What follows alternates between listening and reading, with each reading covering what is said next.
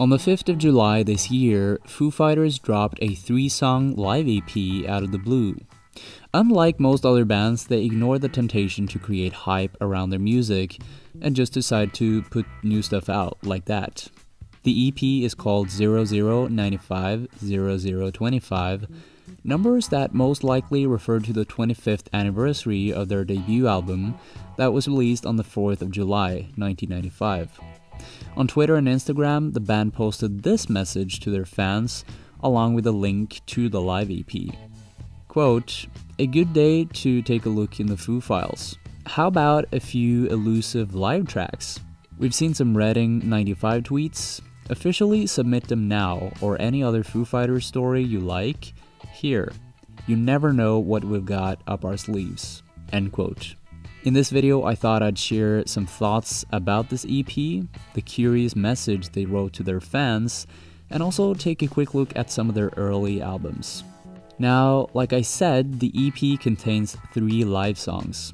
Watershed and For All the Cows, played live at UK and London's Reading Festival in August 1995, and Next Year, performed at the Chapel in Melbourne, Australia in February of 2000.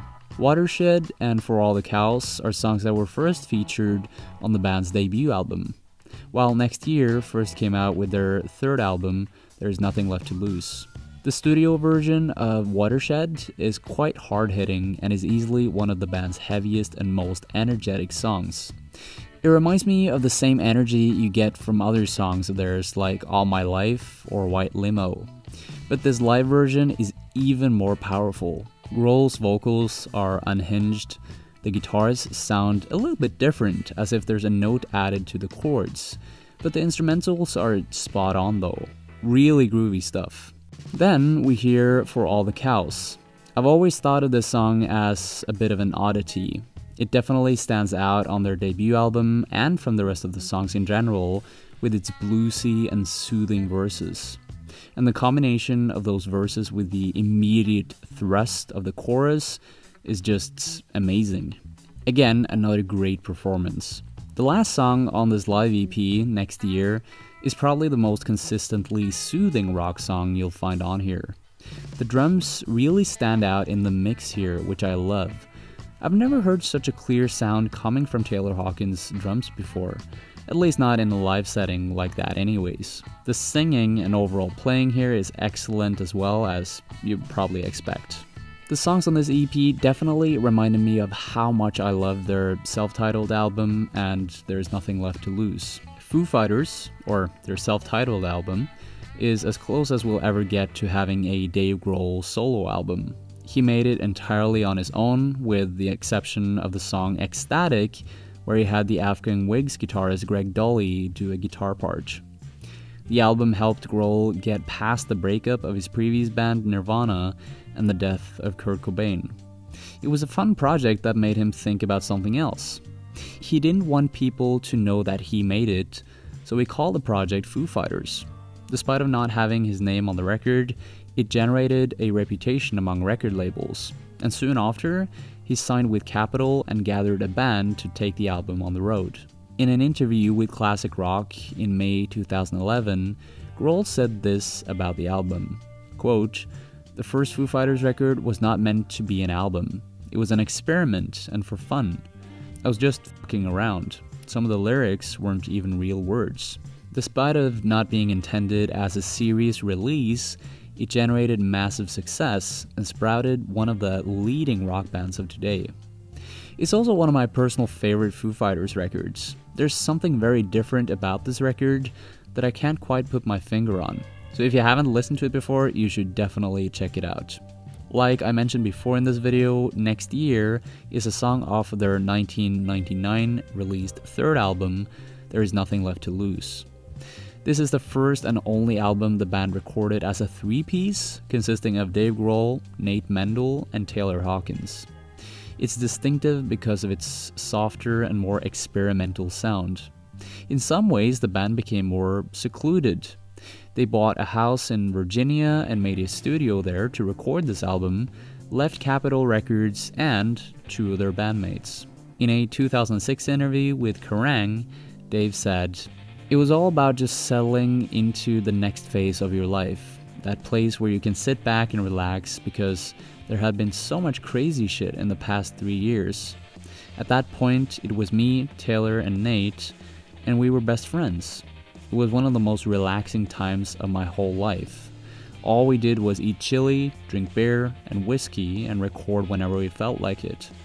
When I listen to that record, it totally brings me back to that basement. I remember how it smelled and how it was in the spring, so the windows were open, and we'd do vocals until you could hear the birds through the microphone. And more than any other record I've ever done, that album does that to me. This album ha- this album also has a special place in my own heart to be honest.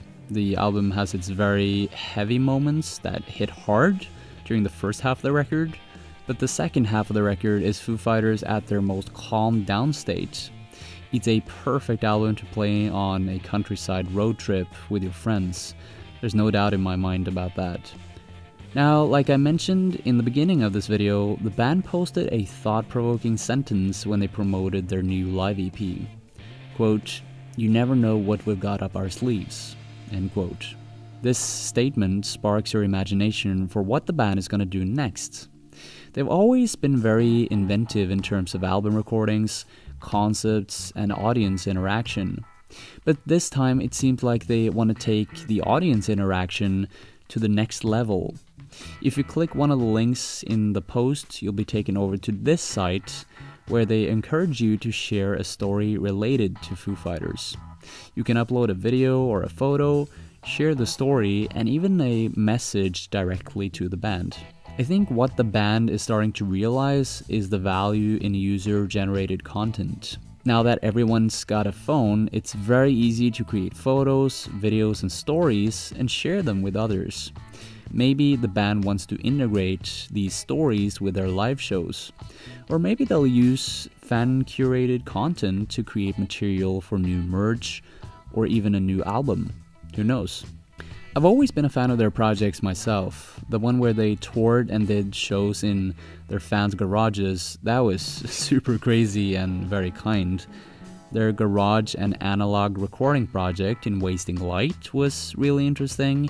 And hell, I even think the recording in eight different cities to capture each city's sound, that whole idea from Sonic Highways was also really, really interesting.